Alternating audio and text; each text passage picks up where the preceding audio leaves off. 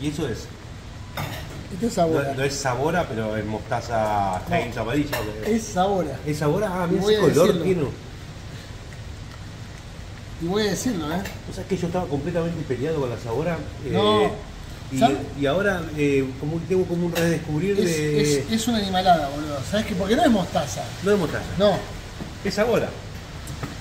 Es sabora. Es un elemento aparte, boludo. Totalmente de acuerdo. Es un ingrediente. Eh, Que la sabora es una, es una salsa Sí. a base de mostaza, que es una semilla. Eh, pero está bastante lejos de las construcciones tradicionales de la mostaza francesa o inglesa. Eh, y para mí, hace muchos años, era como una mostaza de mala calidad. Y ahora la redescubrí como, como ingrediente. ¿Salsa de soja me dijiste que tenías? Sí, hasta la vuelta.